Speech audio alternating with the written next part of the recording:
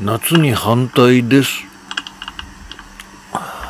皆様の絶望と悲しみと怒りと嫉妬と不安と恐怖と拭いきれない欲望とともに寄り添っていく優しいチャンネル。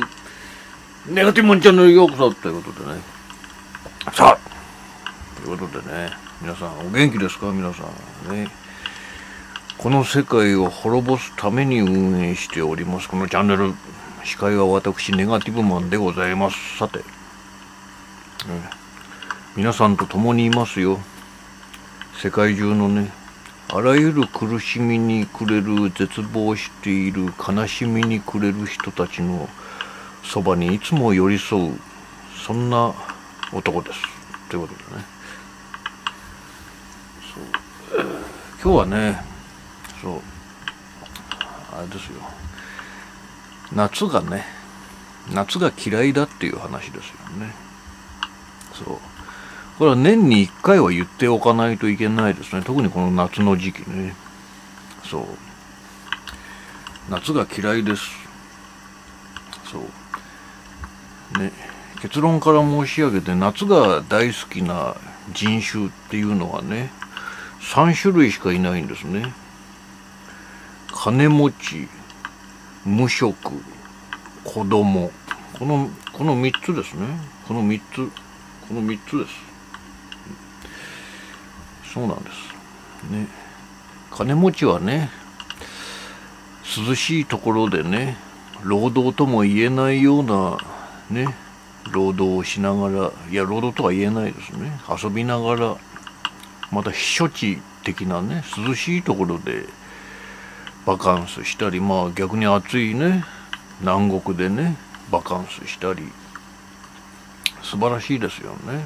いくらでもね北半球南半球ねリゾート地いくらでもね夏をそう勝手にねまた休みが取れますしね。彼らはね。素晴らしいですね。だから夏大好きですよ。金持ちはね。遊び放題ですからね。むしろいいね、常に夏が来ないかなって期待している人種ですね。ね、許せません。さあ、次は無職ね。無職はだってあれじゃないですか。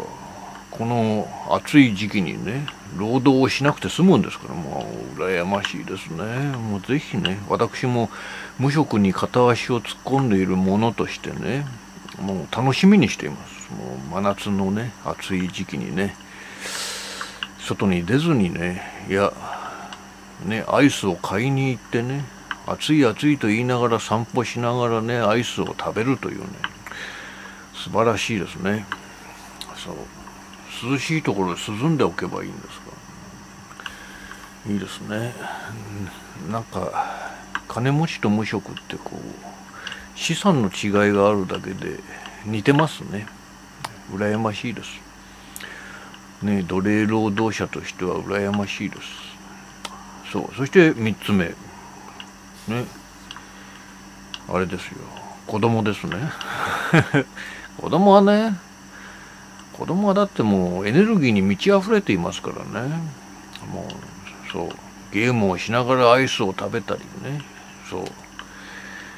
そうめん食ったりね。いくらでもね。そう。ね、友達とはしゃぎながらね。川や海や山にね遊びに行ける行けない子供だってね別にこう涼んでればいいんですからね力いっぱい彼らとしてはね夏休みなんて言葉があるぐらいですから本当にねそうその3つの人種たち以外のね我々奴隷労働者はねひたすらに苦しいんですよね。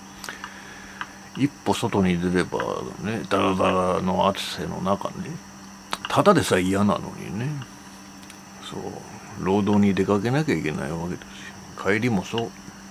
ね。そしてね暑くて眠れぬ夜ね。または昼。ひどいですね。そう。